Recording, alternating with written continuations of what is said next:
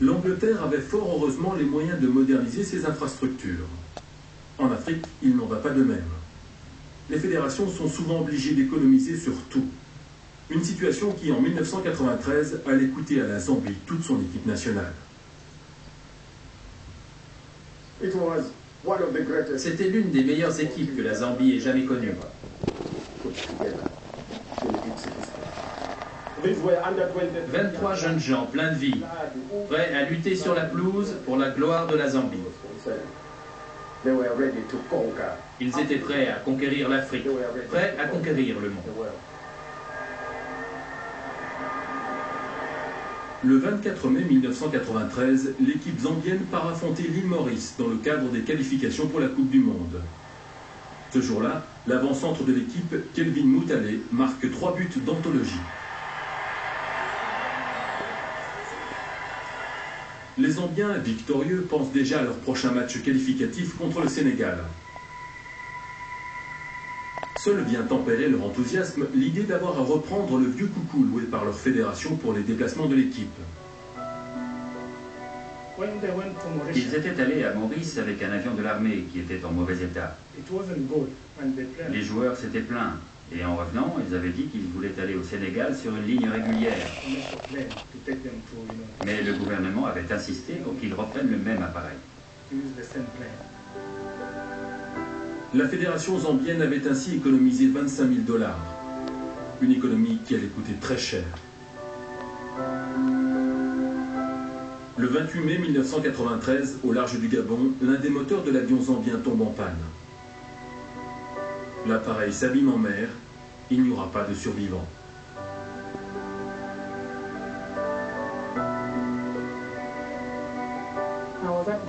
J'étais dans le salon quand on a annoncé que l'avion qui transportait les joueurs de l'équipe nationale de Zambie avait disparu. En fait, on a appris un peu plus tard qu'il s'était écrasé et qu'il n'y avait pas de survivants.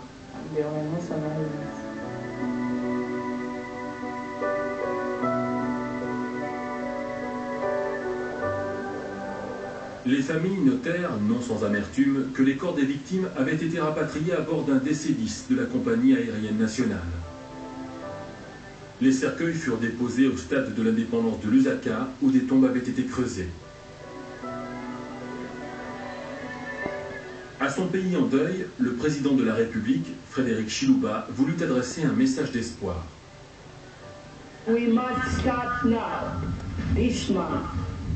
To build a new team, so that the hopes don't lie with you still in these graves.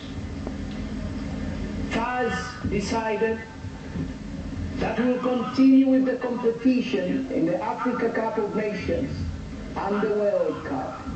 Where are you, the young Zambians, to take up the challenge? Don't bury the hopes. Don't bury the aspirations with the heroes. Les matchs qualificatifs de Coupe du Monde de la Zambie furent retardés. Une nouvelle équipe fut mise sur pied et le 4 juillet, la Zambie était prête à affronter le Maroc dans un stade de l'indépendance plein craqué.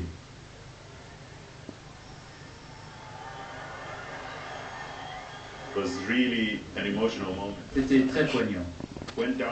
Nous avons été menés jusqu'à la mi-temps et le public est resté silencieux. Les gens pensaient qu'on n'arriverait jamais à surmonter le handicap. C'était fichu. Un certain nombre de supporters qui se trouvaient en haut des gradins, au-dessus des tombes des joueurs décédés, se sont tournés vers eux et les ont implorés. Il y avait des gens qui pleuraient, il y avait une émotion intense. Finalement, la Zambie est revenue dans la partie. Ils ont marqué un superbe but. Et tout d'un coup, ils se sont mis à jouer comme si on ne les avait pas vus jouer depuis très longtemps. Il y avait quelque chose de positif dans l'air.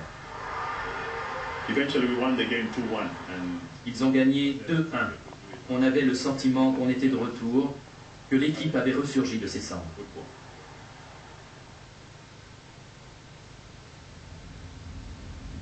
Mais le rêve fut de courte durée. Il manquait un point à la Zambie pour se qualifier, mais elle perdit son dernier match.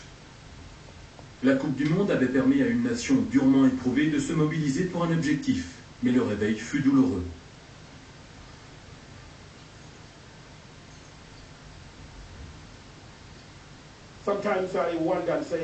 Parfois, je me demande pourquoi ils n'ont pas pu faire le voyage sur une ligne régulière.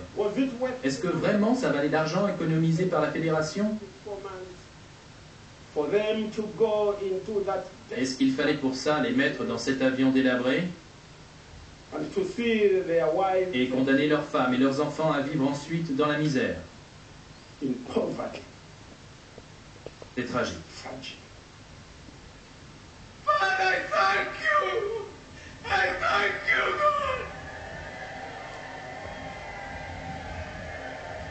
Le vibrant discours et les larmes du président Chiluba lors des funérailles s'étaient accompagnés de la promesse d'une aide aux familles et de l'ouverture d'une enquête. Mais les années passèrent et les familles ne reçurent pas la moindre indemnisation. Et s'il y eut une enquête, ses conclusions ne furent pas publiées. Les proches des victimes en gardent une certaine rancœur à l'égard du gouvernement et du monde du football. Il a pleuré, c'est vrai, sur le moment. Mais après, ils nous ont oubliés, nous les veuves, les enfants, les parents, les proches qui avons perdu un être cher. Je ne soutiens plus notre équipe de football parce que le gouvernement nous a négligés. Quand ils gagnent, ils font la fête et oublient l'équipe disparue. Alors je suis triste. Je me sens oubliée, bafouée. Mais quand ils perdent, je me dis que comme ça, ils sentiront peut-être qu'il leur manque quelque chose ou quelqu'un.